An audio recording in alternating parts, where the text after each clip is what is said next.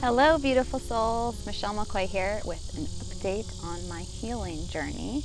And I'm going to combine this video with a video that I filmed, I guess, over a month ago.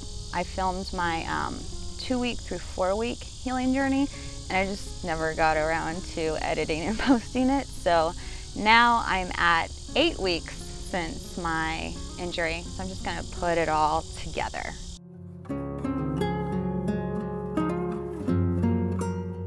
Lately, I have really been reminding myself that the comeback is always stronger than the setback. Constantly telling myself this over and over all day long.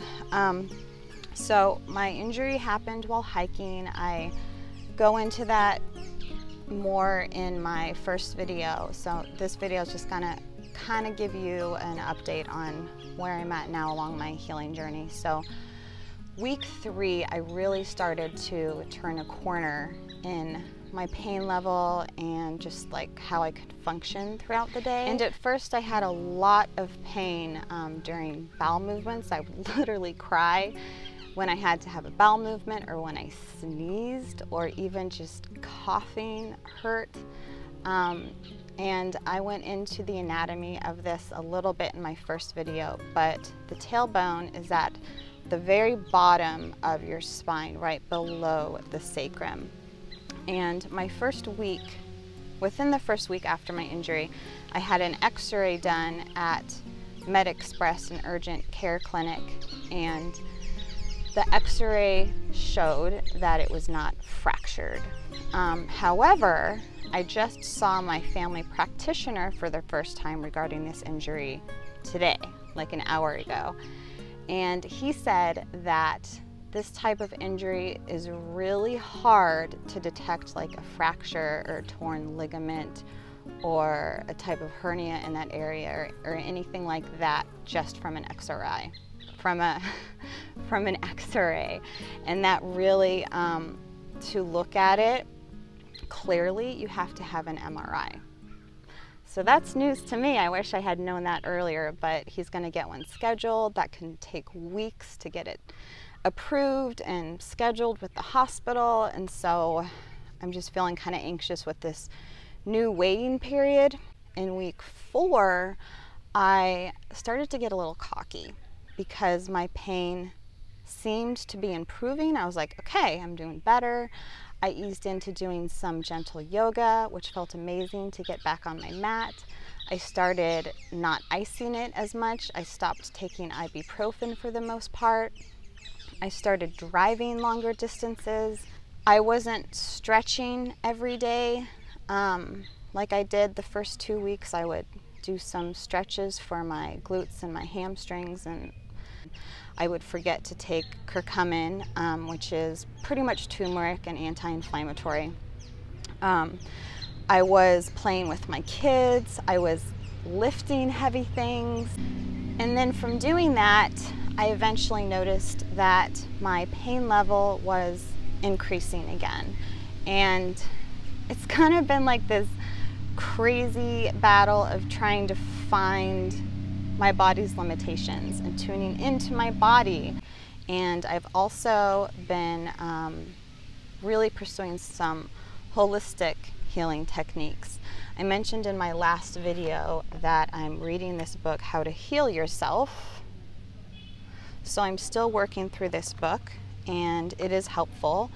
Um, I've also gotten a bunch of other books. I've started back on my gratitude practice, which always helps with healing anything and really any struggles in life, just coming back to a gratitude mindset. I've also been um, continuing counseling. So I have a, a therapist that I've been seeing for years, and the last month we've obviously been focusing on coping mechanisms that I can use while healing.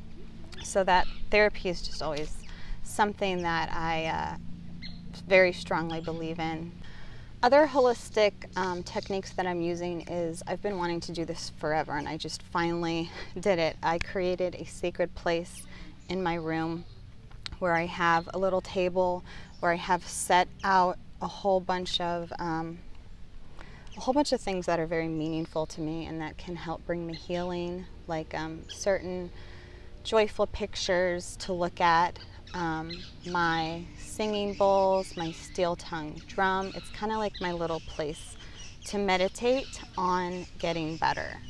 The last couple weeks I've also really been working hard on improving my diet, cutting out inflammatory foods, cutting back on my sugar and processed foods, eating a lot more veggies and fruits, but you even have to be careful with those because certain veggies and fruits can cause um, inflammation and that is number one thing that I want to avoid right now. Um, I've also been dairy free for a long time and that's a natural inflammatory, so I'm sure that's helping.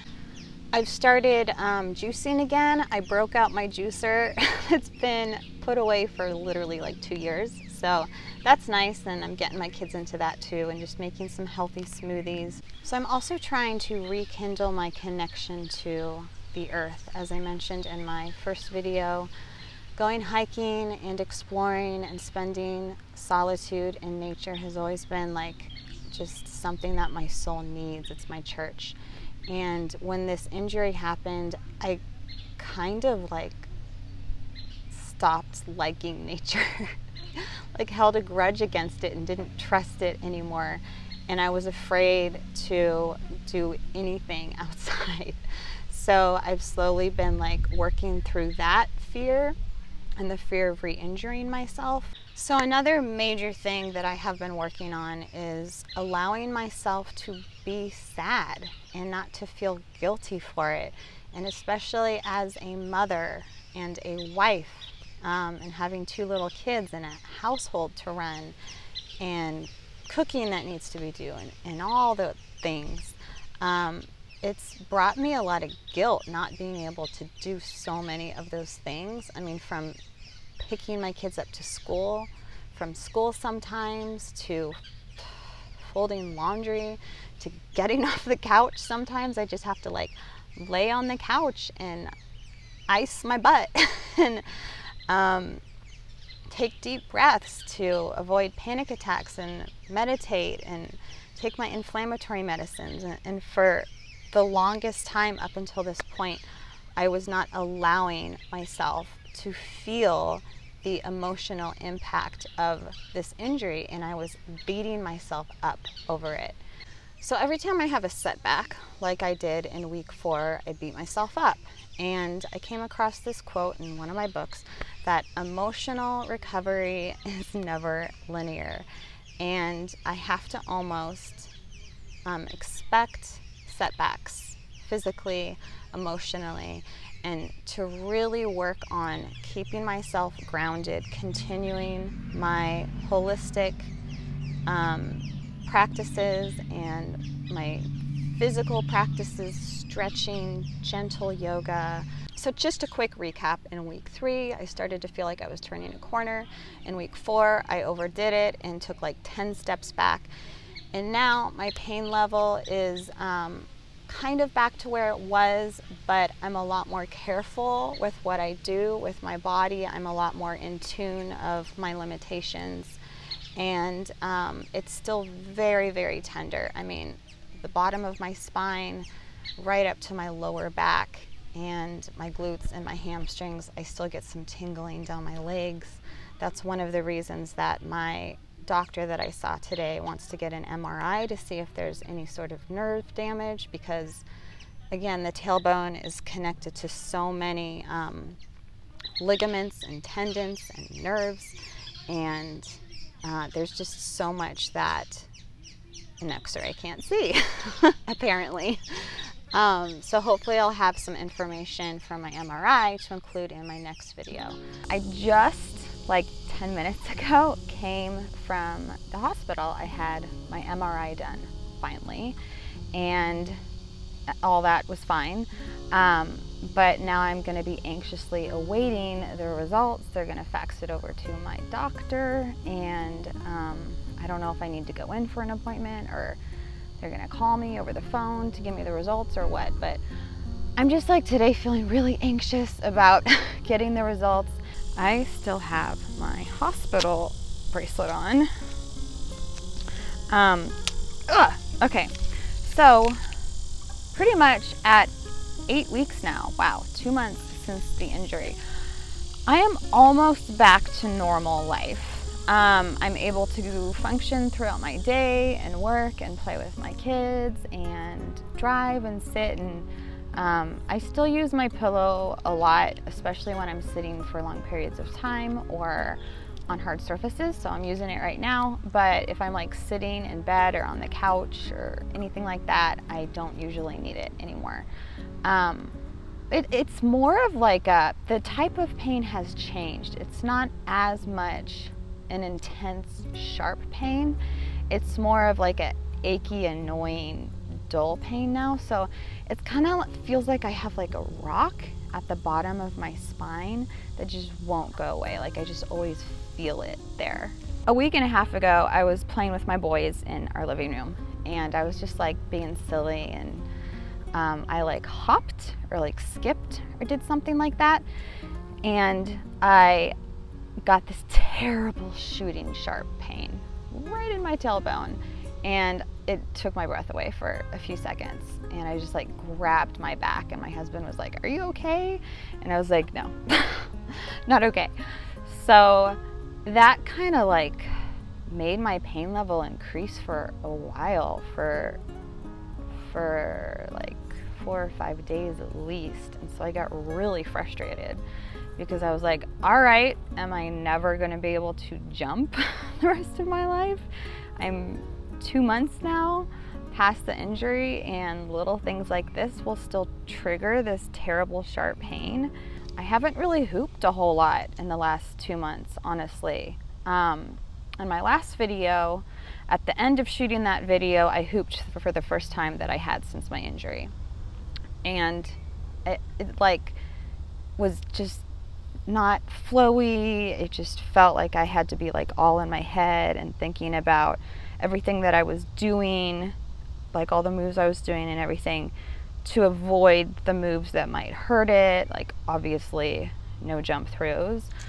Um, I I've been avoiding wedgies because I don't I just don't want to like do any twists or you know this movement. um, I haven't been doing any like um, one leg hooping or anything that requires me to like stomp my leg back down or any like sudden movements that would like jolt my spine.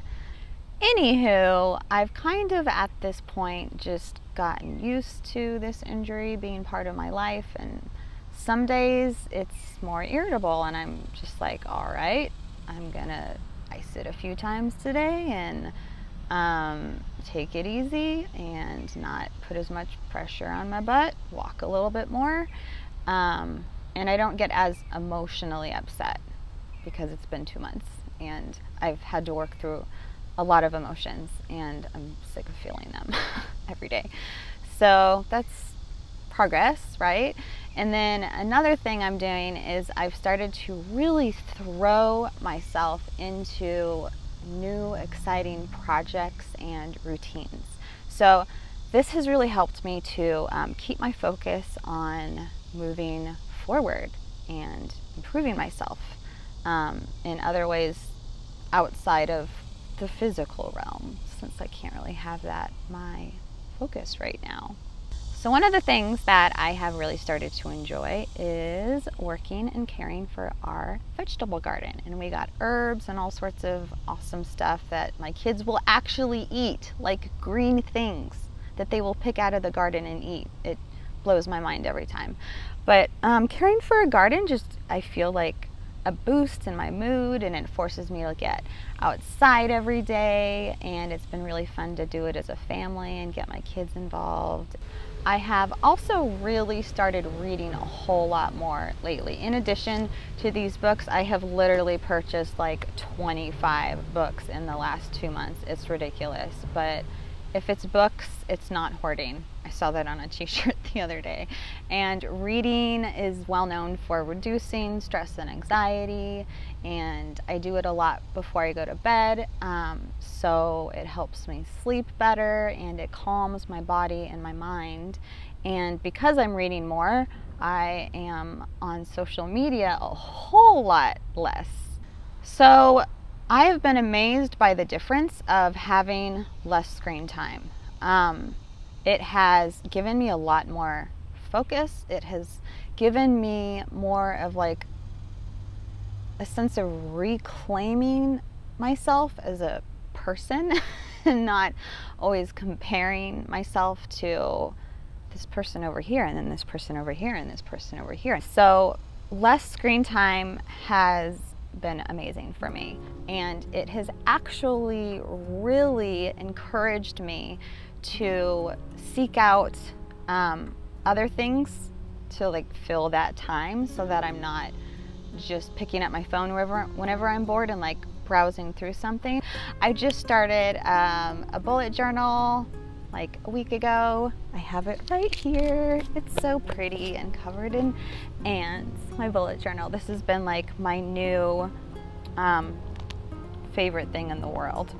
So starting this bullet journal has really um, given me a new creative outlet. It has inspired new ideas. It has encouraged and motivated me to stay productive and stay organized and gives me um, some peace of mind because like most creative people, I am not organized. and I've tried all of these different task management platforms on a computer and I just, I don't have the best relationship with the computer and I like to journal and I used to scrapbook a lot and be creative so, you know, that's where this comes in. And this has been a great distraction for me from the things that are limited that I can't do as much right now and um, my injury with my tailbone. It's just, this is the first thing that I've started that I am proud of that makes me feel very productive and driven since my injury because I've just been feeling so defeated and kind of like worthless, honestly. Um, I've been struggling with that since my injury. All of these new things that I'm throwing myself into have really increased um, my productivity and my sense of purpose in life. And I've just kind of gotten used to like the funny faces I get from people carrying around my special pillow and yeah, I'm gonna leave you with that for some reason. So anyways, that's it. I will be back to you with my MRI results hopefully soon. And um, hopefully someday I'll be able to jump again.